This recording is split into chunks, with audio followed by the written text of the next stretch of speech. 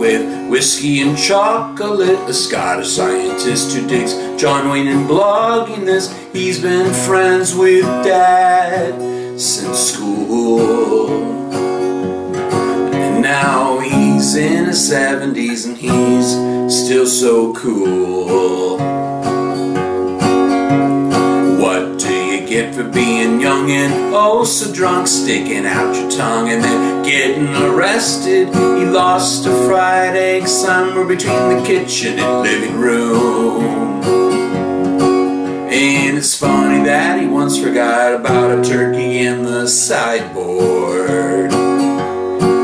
Yeah, it's funny how he forgot a turkey in the sideboard with Dad for months and months and months.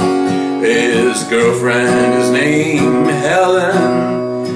He has two sons, young Douglas and David. He has a beautiful grandson named Ruben, but don't get him started about Paul Jones, even though he likes the blues band. Say no more J.K. Rowling. You kick out the door.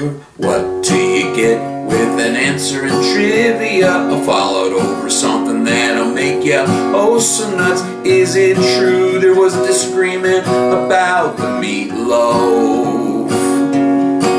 Yeah, he's not my biological uncle, but it's better be cause I picked him. Get with the Buddhist vegetarian against killing slugs? His heart is caring, then he put up the copper piping just to stop him coming in his house. The Scottish that hates tourist stuff. Well, he's a Scotch that hates tourist stuff.